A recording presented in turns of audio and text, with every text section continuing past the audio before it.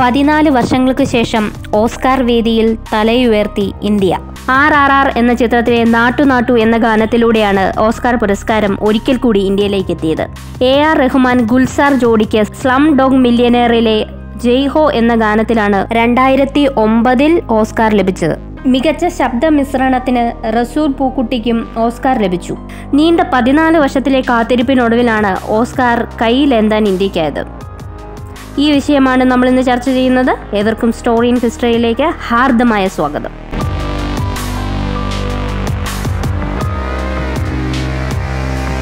പുറത്തിറങ്ങിയ നാൾ മുതൽ തന്നെ പ്രേക്ഷകരുടെ ഇഷ്ടം പിടിച്ചുപറ്റിയ ഗാനമായിരുന്നു നാട്ടുനാട്ടു ഇത്തരത്തിലൊരു ഗാനം ആവിഷ്കരിച്ചതിന് സംവിധായകൻ എസ് എസ് രാജമൗലിക്കും നൃത്ത സംവിധായകൻ പ്രേം രഷിദിനും ഒരു ബിഗ് സല്യൂട്ട് യുവജനതയുടെ പൾസ് അറിഞ്ഞ ഗാനരചയിതാവ് ചന്ദ്രബോസിനും എം എം കീരമാണിക്കും തങ്ങളുടെ സംഗീത ജീവിതത്തിൽ ഓസ്കാർ പുരസ്കാരം ഇരട്ടി മധുരമാണ്.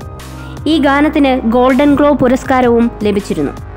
തൊണ്ണൂറ്റി അഞ്ചാം ഓസ്കാർ പുരസ്കാര വേദിയിൽ ഡോക്യുമെന്ററി ഹ്രസ്വ ചിത്രത്തിനുള്ള പുരസ്കാരം ദി എലഫന്റ് വിസ്പറേഴ്സ് സ്വന്തമാക്കി.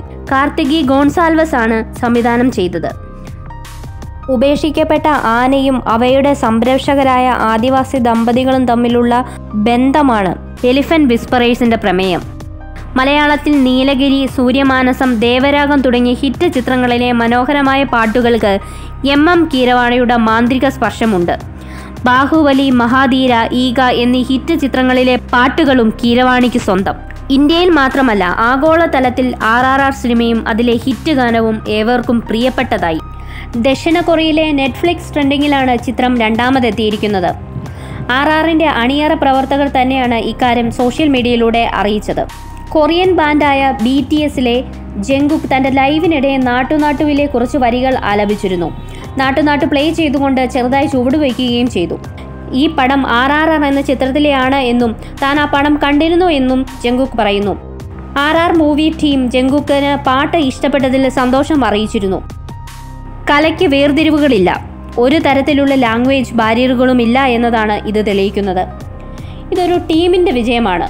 ഗാനം ആവിഷ്കരിച്ച സംവിധായകൻ രാജമൗലി നൃത്ത സംവിധായകൻ പ്രേം രഷിദ് എം എം കീരവാണി ഗാനരചയിതാവ് ചന്ദ്രബോസ് ഒപ്പം രാം ചരണിന്റെയും ജൂനിയർ എൻ ടി ആറിന്റെയും ചടുലമായ നൃത്ത ചുവടുകൾ.